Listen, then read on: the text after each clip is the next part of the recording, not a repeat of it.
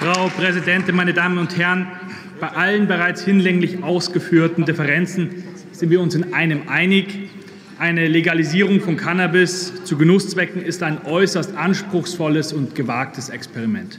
Deshalb war ich beim Lesen des Koalitionsvertrags der Ampel über die Formulierung auch mehr als verwundert. Sie schreiben dort auf Seite 68, dass Sie eine kontrollierte Abgabe von Cannabis an Erwachsene zu Genusszwecken in lizenzierten Geschäften ermöglichen wollen. Ich muss Ihnen sagen, Ihr Vorhaben, wie Sie es in Ihrem Koalitionsvertrag festgelegt haben, ist so nicht durchführbar.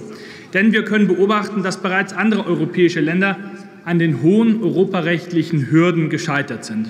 Beispielsweise Luxemburg, das von der Idee einer vollständigen Legalisierung von Cannabis abgerückt ist und Hanfpflanzen nur für den Eigengebrauch und das nur in sehr geringen Mengen erlaubt. Die dortige Regierung nennt als Grund die Unvereinbarkeit mit dem Europarecht.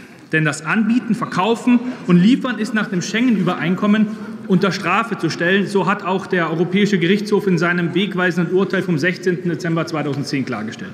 Ich weiß nicht, ob Ihnen das bewusst ist, aber Deutschland ist 1990 dem Schengen-Übereinkommen beigetreten. In den Niederlanden zeigen sich die europarechtlichen Probleme für das Vorhaben der Bundesregierung noch deutlicher.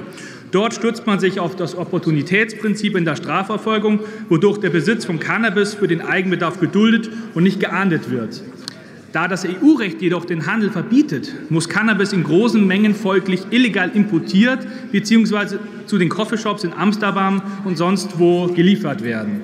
Nicht nur das EU-Recht steht eine Legalisierung von Cannabis zu, zu, Genusszwecken entgegen, sondern auch das Übereinkommen der Vereinten Nationen zur Drogenpolitik von 1961. Es ist schlicht unmöglich, einerseits alle internationalen und europarechtlichen Vereinbarungen einzuhalten und andererseits gleichzeitig eine rechtskonforme kontrollierte Abgabe von Cannabis an Erwachsene zu Genusszwecken in lizenzierten Geschäften zu ermöglichen. Eine Lösung wie in den Niederlanden mit permanenter Beugung europäischen Rechts und internationalen Vereinbarungen kann dabei wirklich nicht unser Anspruch sein.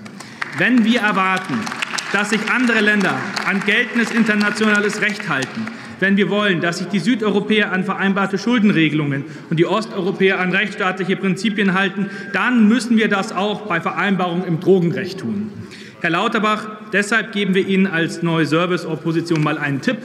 Wenn Sie schon die aus unserer Sicht falsche Legalisierung von Cannabis durchziehen wollen, dann kündigen Sie entweder alle internationalen drogenrechtlichen Vereinbarungen mit den dazugehörigen Konsequenzen auf oder finden Sie zumindest eine europäische Lösung für Ihr Anliegen, um nicht rechtswidrig zu handeln. Kleinstaaterei auch im Drogenrecht darf nicht unser Anspruch sein. Europa ist unsere Zukunft. Vielen Dank.